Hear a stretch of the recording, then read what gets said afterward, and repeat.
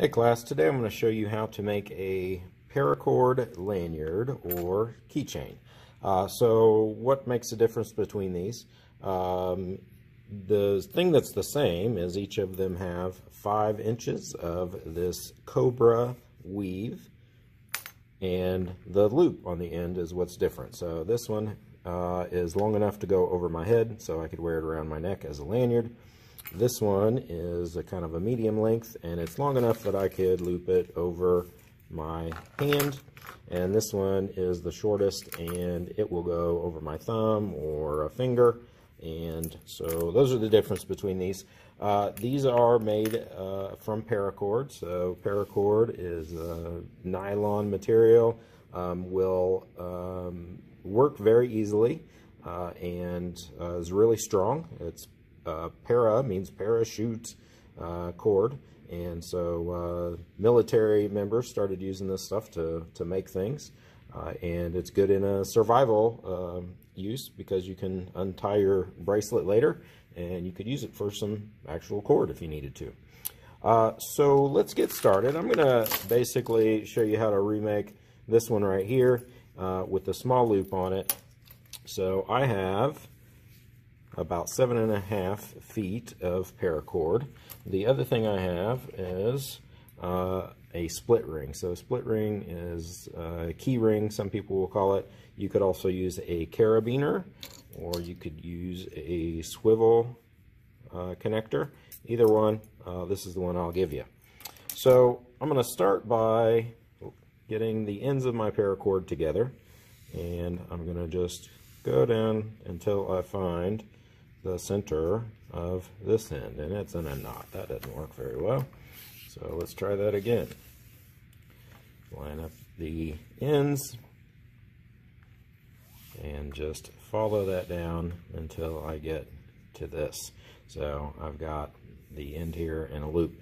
So depending on what I'm creating here the loop could be very large at the end or very small. Again I'm making the one just big enough for my thumb or my finger, but the knot will be the same. This is an overhand knot. I'm going to take this end and I'm going to loop it around like that over top.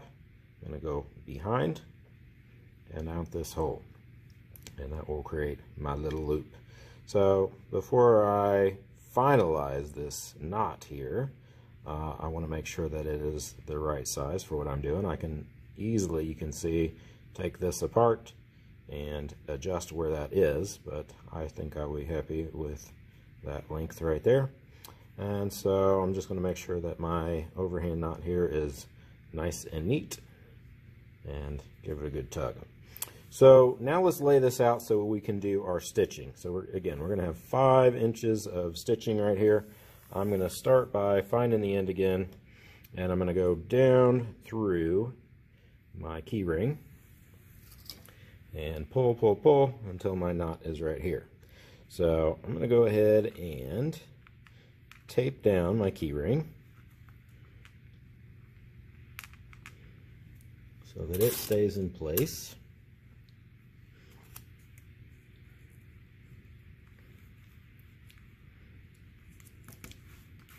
And set this up so that, again, these are each going out to the side. And I'm going to measure I want five inches from the knot to the key ring there. So I'll lay my ruler on there. And I've done this a few times, so I got that pretty close the first time. Next thing I'm going to do is go ahead and tape down this end.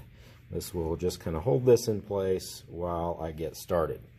Okay, so now I'm going to zoom in so you can see the knotting process.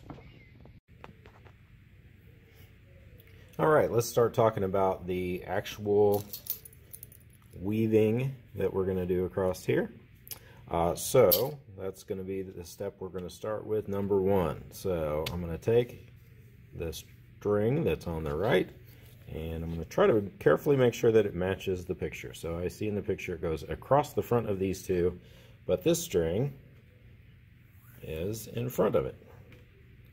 Okay, so that's step one. Now I'm going to jump to step two. So step two shows me taking the string that's on the left and I'm going to go behind these two and out through that hole.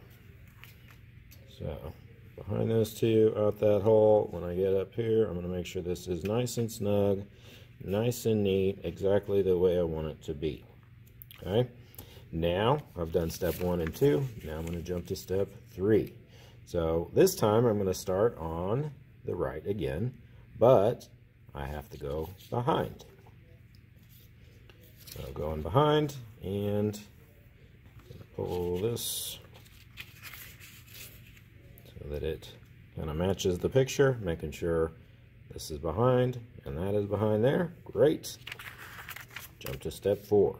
So step four shows me taking the string on the left, and now I'm going to go across the front of these two, but down through that hole.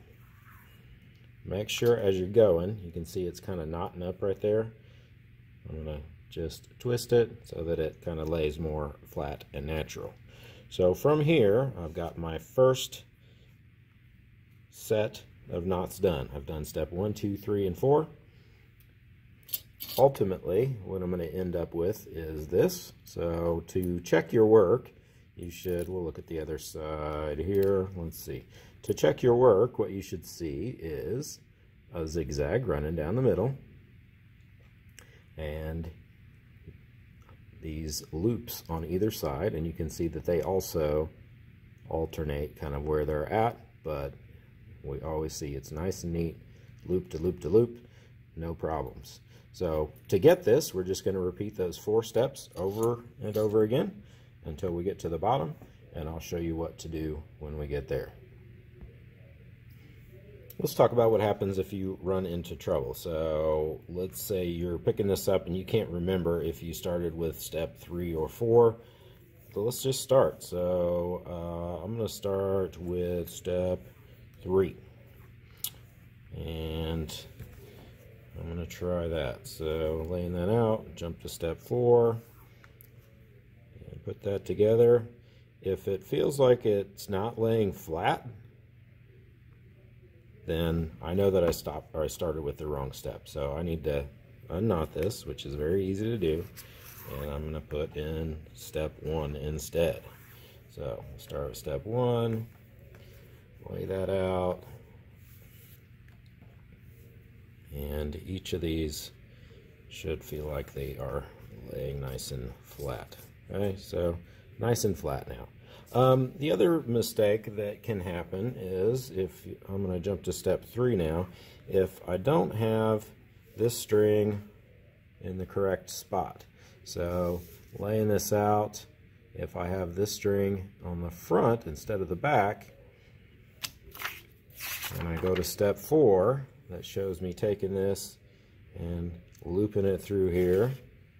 Well, that doesn't do anything. So if it, you, you've done it and uh, it doesn't work out, then that just means that one of these strings was in the wrong spot. Okay, we're getting to the point where we're pretty close to finishing this off. So I'm just going to try to fit as many as I can in this spot up into that knot and I made a mistake so unwind that.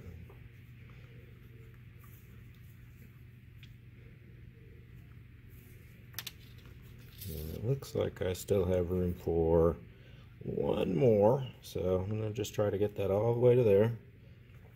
This probably my last. Okay last chance to really make sure everything's nice and neat and tight and there's not room to put well, I think I can fit one more in there just by snugging that up a little bit. So one last.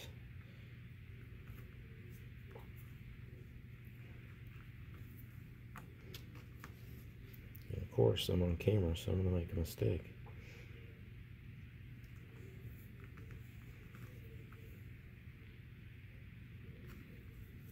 There we go. All right, now we're at the end. Okay, so I've got these uh, leftover strings, so I need to clip those off and take care of burning the end.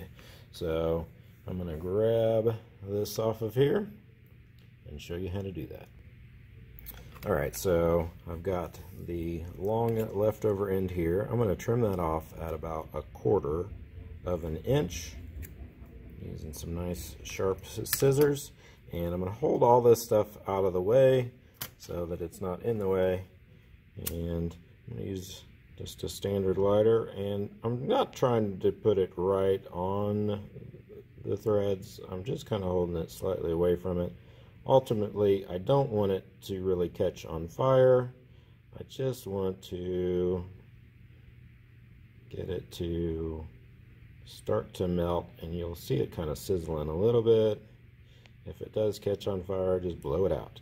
All right, so got some good smoke there. I'm gonna hold it here to keep this from pushing out and I'm just gonna push this against my lighter and twist and that flared burnt piece will basically keep this thing from unwinding. So I'm going to repeat that same process on this side.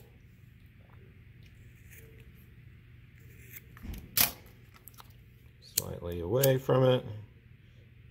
And this is nylon's a form of plastic, so it's very flammable and will melt, unlike any other types of thread.